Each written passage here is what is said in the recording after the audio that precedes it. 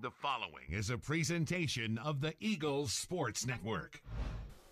Adam Cavalier joined by the Canisius transfer, Ivan Hadzic, here on the Domino's post-game report. Uh, career high, nine points.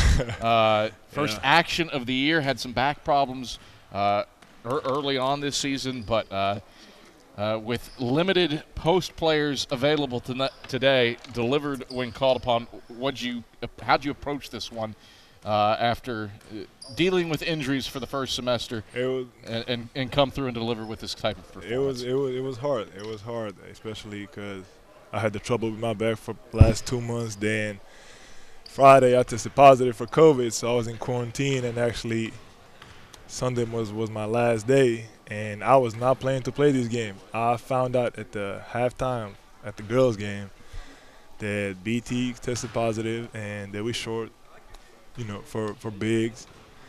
And CB said you have to play. you have to play, and uh, Doc, one of the medical staff, told me that I have to play with the mask on, and you know it was it was it was a hard decision. I said, all right, I'll play, but I will really be limited. and yet, But then again, you know they NCAA came up with the rule that I don't have to have a mask on, so I was really glad that you know I could play with with, Not- with full potential and co- contribute to the team in this victory. we're hyper efficient. Three of three from the floor, three of four the, the charity stripe. Uh, wa- wa- was it was there pressure or was it just hey the reins are off? I can finally do this.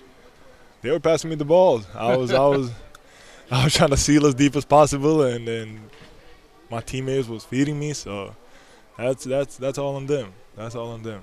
Uh, defensively, really put the clamps down uh, on the Cavs today. Just four made shots for them Yeah. over the final 13-48 of this one. Uh, what'd you guys do collectively to make life difficult?